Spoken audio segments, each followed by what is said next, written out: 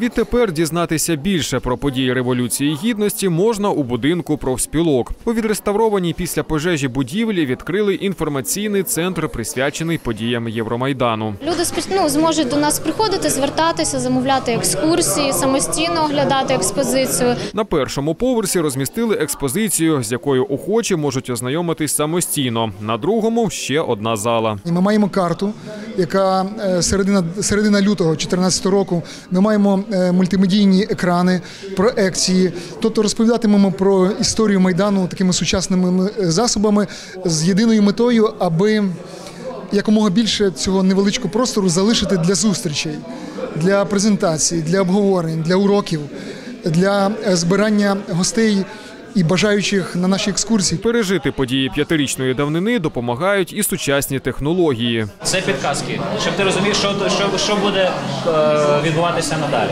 Натисни на круглу кнопку, вона зникне. Оп, зникла. Відчути себе присутнім на революції гідності можна за допомогою віртуальної реальності. Розробники пропонують пройти з центральними вулицями Києва. Уся інформація доступна українською та англійською мовами. Коли ми одягаємо VR-окуляри, ми опиняємося на вулиці Інститутській. І все, що ми бачимо, якісь фотографії, ми бачимо їх у контексті. Тобто ця фотографія знята звідси, і вона розповідає про те, що відбулося ось тут. І ми можемо пройтися цим місцем і зрозуміти, хто тут був, яка кількість людей, що було позаду, що було попереду, як виглядає це місце. Все дуже реалістично. В ті дні я працював журналістом, і якраз саме в оцей епізод, ранок і початок таких розстрілів снайперами.